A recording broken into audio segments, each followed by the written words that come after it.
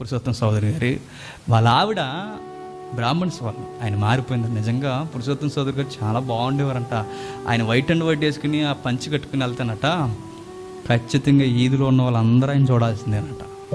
అంత బాగుంటాడు చూడడానికి పురుషోత్తం సోదరి. ఒకరోజు ఏసైని నమ్ముకున్న తర్వాత కుల వ్యవస్థ గురి చేస్తారు. బ్రాహ్మణం తగ్గ బయటకు పంపించేస్తే బయటికి వెళ్ళిపోయి ఆయన విజన్ ఏంటంటే ఊరూరా ఏసైని వచ్చి నాలుగు మాటలు చెప్పి నాలుగు అక్షరాలు రాసి తిరుగుతూ ఉంటాడు అనమాట ఒకరోజు అన్ని రాష్ట్రాలు తిరిగి తిరిగి తిరిగి మరలా సొంత ప్రాంతానికి వస్తే వైజాగ్ అనుకుంటా ఆ ప్రాంతానికి వస్తే ఒకరోజు ఆ ఇంటి ముందుకు వచ్చి నిలబడితే అడుక్కునేవాడు వచ్చాడు అనుకుని లోపల నుంచి ఒక ఆవిడ వచ్చి ఇలా పులిహార పెడుతుంటే ఒకసారి దగ్గర నుంచి చూసి అనిపిస్తుంది అప్పుడు అర్థమవుతుంది అడుక్కున్నవాడు అనుకుంటుంది.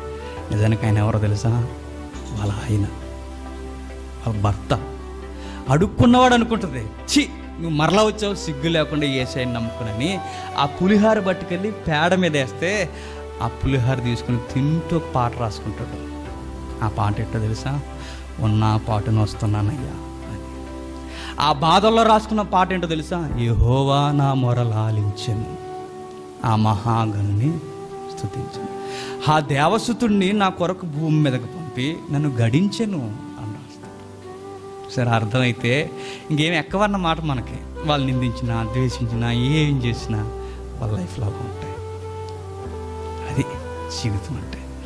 చెన్ని వీరుడు అన్న పదం ఎందుకు మనకు సరిపోద్దంటే నీ లైఫ్లో అన్ని పిడుగుద్దులే ఉండాలి అరిగిపోవడం ఉండాలి శాంతి ఉండకూడదు. ఒకరోజు చచ్చిపోయినప్పుడు మంచి సాక్ష్యం పొందుతుని ప్రభువునందు నిద్రించుతున్న ఆ రోజు నేను మాట్లాడుకునే స్థితిలోకి రావు